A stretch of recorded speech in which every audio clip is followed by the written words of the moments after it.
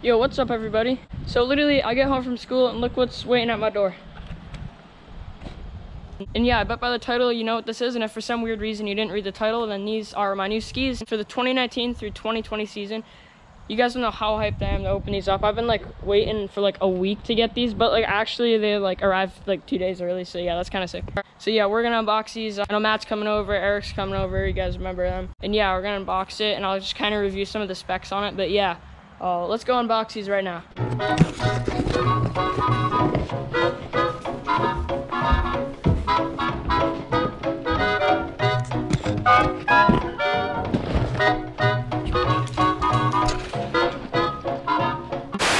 Got the the OG filmer, and then we got Eric. Good times.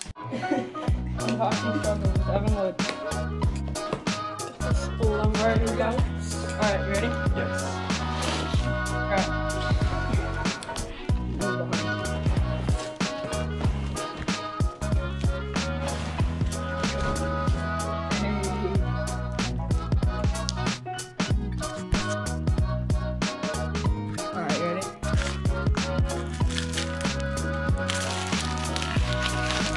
Holy crap. Those are looking pretty fresh. Bro. Hey, full new sheet of stickers. I'll have to, I'll have to give you guys some.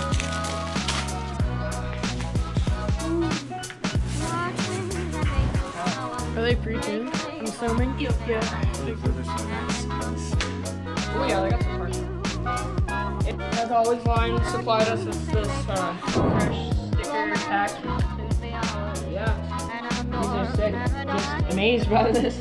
Uh, then I'll get on to the review. But yeah, look at these. These are sick. Day two. Alright, what's up, homies? It's the next day now, and I didn't get to review these yesterday when I unboxed them. I just kind of hung out with my friends and stuff. But yeah, now we're here to review these 2020 Line Honey Badgers. As you saw in the last clip, I unboxed them and stuff. And yeah, and I'm just going to kind of go over some of these specs and, you know, just if you're interested in buying these, just kind of go over it or just for your knowledge and stuff just about these skis because this is what I'm riding for this coming season, most likely the next season too, after this coming one. But this is my fresh setup for this year. And I still got to get bindings and boots, obviously, but I'll probably do that tomorrow or sometime this week. But yeah, so yeah, these are the 2020 Line Honey Badgers, and I'm gonna assume if you're watching this, you've probably done some research if you're thinking about getting these, but if not, I'll just kind of go over all the specs. So this is a park ski. It's pretty much like mainly for park. That's why I got it, because last year I had the Bacons going into the season like thinking, oh, I'm gonna do a lot of powder and park, but I kind of mo mostly just did park. I mean, I had some sick powder days, but I mostly just did park because I'm mostly a park skier. But so that's why I decided to get these. As you can see, if you put them sideways, they still do got some rocker, as you can see. Like there's a pretty decent amount, and these are like pretty good. Honestly, they're like pretty wide. Like they're really good all mountain uh, anyway. So like for East Coast pow days and just uh, those days I'm outside of the park, these are perfect for that too. So if you're really generally a park skier looking to just do more all mountain, maybe some outside of the park, but like mostly in the park, just really just whatever the day the day calls for. I'd say these are pretty good for that. As all line skis come with, they always come with like this card. They got stickers on the back, as you can see. I've already used a bunch. I'll just kind of read what it says on the card. Line freestyle ripper, honey badger, snarling and swooping around the park in the streets. A honey badger don't give a dot dot dot. This thing is a bare bones park ripper built to withstand anything you throw at it. Hit and rails, jumps, bonks, whatever. The thing bangs and keeps coming back for more. Oh, and it won't break the bank, so that's pretty rad.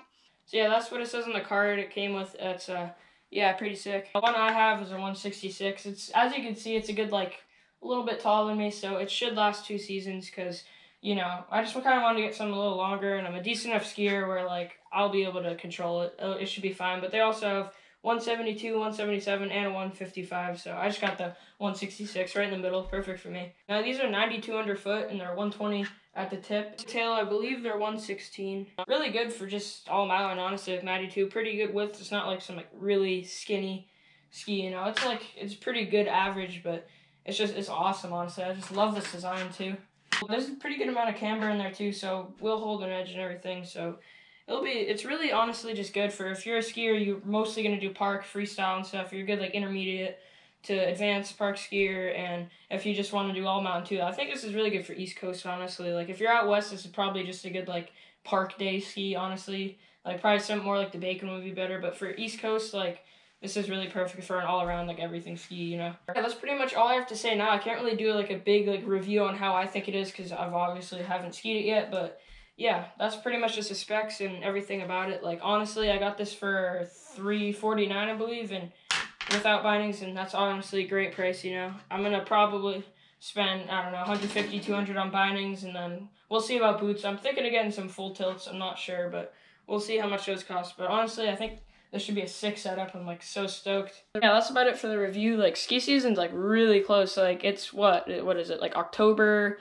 October 9th today and yeah, honestly, it's like another month and it's gonna be like literally right up. We're gonna be skiing like really soon. Now this weekend we're going to Sugarloaf for homecoming weekend there, and I'm gonna like do some skateboarding, just like have a good time and yeah, honestly, like a few more videos and then ski videos. So like it's honestly it's coming so quick. I know Killington's opening two weeks. I don't think I'm gonna be able to go, but I'm gonna try. We'll see what happens. But yeah, it's like everything's coming real soon, so I'm so stoked I got these new skis. I hope you guys enjoyed the video. I know this video is just kind of random. It's not like my normal video, but you know, I just kind of wanted to just do a quick review and unboxing. Honestly, these skis came like two days early, so like I, I was not prepared for this, so it's really nice surprise to come home to.